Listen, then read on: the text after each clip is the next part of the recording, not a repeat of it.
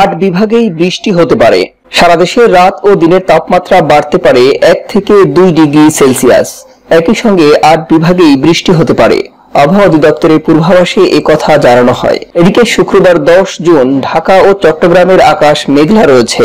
গরমের উত্তাপ কম কিছুটা, তবে দুপুর বারোটা পর্যন্ত ঢাকায় বৃষ্টির দেখা মেলেনি। আবহাবিদ মোহাম্মদ শাহিনুল ইসলাম জানান, ঢাকা, রংপুর, ময়মনসিংহ, সিলেট ও চট্টগ্রাম বিভাগের অনেক জায়গায় এবং রাজশাহী, খুলনা ও বরিশাল বিভাগের কিছু কিছু জায়গায় অস্থায়ীভাবে দমকা হাওয়া সহ হালকা থেকে মাঝারি ধরনের বৃষ্টি অথবা বজ্রসহ বৃষ্টি হতে পারে।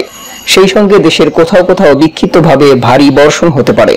শুক্রবার সন্ধ্যা ছয়টা পর্যন্ত আবহাওয়ার পূর্বাভাসে বলা হচ্ছে, টাঙ্গাইল, ময়মনসিংহ, ঢাকা, ফরিদপুর, মাদারীপুর, যশোর, কুষ্টিয়া, খুলনা, বরিশাল, পটুয়াখালী, নোয়াখালী কুমিল্লা, চট্টগ্রাম, কক্সবাজার এবং সিলেট অঞ্চলের উপর দিয়ে দক্ষিণ বা দক্ষিণ পূর্ব দিক থেকে ঘন্টায় পঁয়তাল্লিশ থেকে ষাট কিলোমিটার বেগে অস্থায়ীভাবে দমকা ঝোড়ো হাওয়া সহ বৃষ্টি অথবা বজ্রসহ বৃষ্টি হতে পারে।